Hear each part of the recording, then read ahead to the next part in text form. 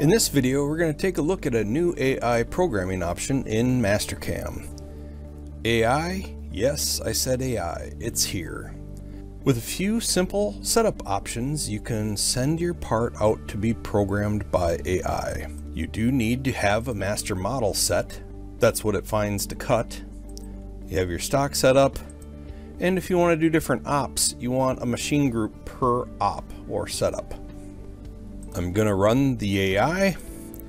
I get a few options. I can set to three axis or I can do three plus two. I have two machine groups. I can choose if I want to work them both and then what plane I want. I already have some planes set up. I can tell it how good the work holding is. This makes some adjustments to the maximum size tool I can use and some other things. I can pick a tool library I can pick a material I'm cutting here. And then a few advanced settings, I'm just going to take the defaults. I hit OK.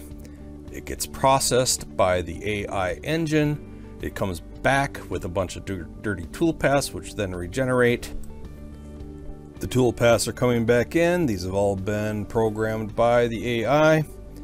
Once they're complete, I can backplot verify them and then edit, delete, add as needed. My operations are completed. I'll now verify the paths AI created. There are also some AI cycle time estimator and SoftJaw designer tools. I'm to select all the ops and check this out in my verify. I'm just going to fast forward to the end.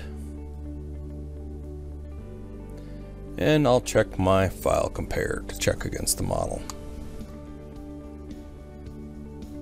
It's looking pretty good. For more information about this exciting new AI product for Mastercam, make sure to reach out to the ProtoTek team. I hope you enjoyed this video. As always, check out our other videos and thanks for watching.